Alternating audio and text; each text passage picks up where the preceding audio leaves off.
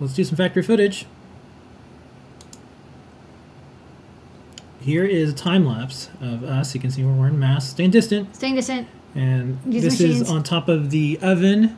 And over there is And the you can see the windows are open. That's why Yeah. they, they're kind of uh, the blinds are Yeah, our building Shifting. was built uh, after the the previous pandemic, so there's uh, windows and radiators uh, surrounding all the. Okay, this is testing Rooms. HalloWing M4. This is what it's like. Glowy skulls. Who doesn't love a glowy skull? So the pick and place running, manufacturing something. What? Never know.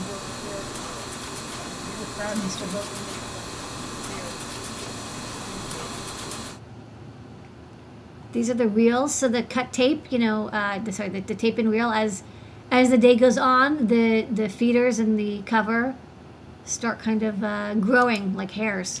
Tray straps. This is how uh, you should package trays. Ask us how we learned that you shouldn't use rubber bands. Use use straps. Uh, we've got some GPSs that fell off of the uh, cut tape we have, but um, they're like ten bucks a piece. So we don't want to toss them. So we laser cut a little tray, um, and we uh, you know put the twenty or thirty modules we had, and we recycled them. Checking out these cool reverse mount LEDs. Now look at how they are in the tape. They're upside down. Yes, that took quite a bit of convincing to get. Uh, but what's cool is that these will be reverse mount LEDs. We're going to use these in some of our keycap breakouts.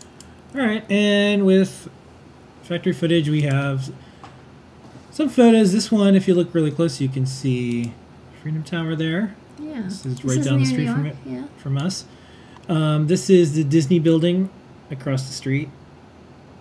never stopping. No. And uh, this time they're moving around some gravel. Yeah. Okay. And it wouldn't be. Looks like they have some concrete down. Yeah. It wouldn't be an Adafruit factory footage segment without a sunrise or a sunset.